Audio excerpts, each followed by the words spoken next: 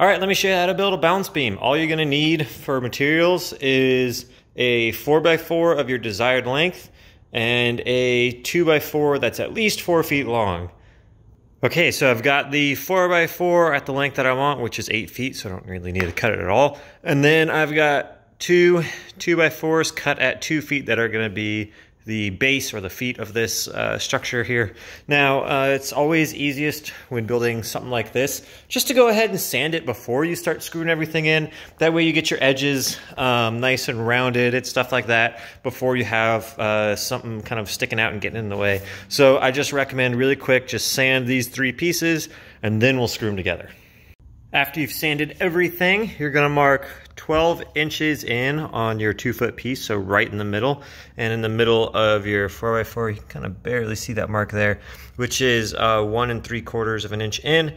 Then you're gonna make these marks line up, make it nice and flush on this side, make it nice and square, and then you're gonna wanna pop in about three to five of these two and a half inch decking screws.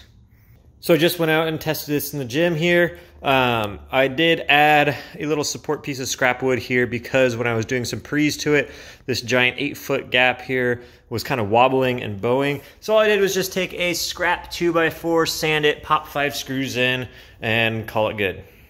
All right, your next step is to just really quickly wipe it down with a damp cloth, and then it is time to start painting. All right, so go ahead and put some rubber on the ends and the middle. Make sure you get full coverage on the pieces that are gonna be touching the ground, and then you're done. Uh, that is how you build a balance beam. Now this balance beam is, flip it over real quick so we can look at it. There we go. Now this balance beam is pretty strong. Um, I wouldn't support it completely like this on its own where there's nothing in between. I'd always leave something uh, on the ground in between these. It will flex a little bit. It shouldn't break. It really shouldn't. Um, if you want to be like absolutely for sure that it's never going to snap, instead of a 4x4, get a 4x6 and just make it thicker. And then you don't need this middle piece and you can span gaps and things like that. But honestly, this is a good enough solution for what we got here. Um, and it actually works really well. I went out and I tested it. My heels don't hit the ground when I do precisions to it. And um, there you go. That's how you build a balance beam.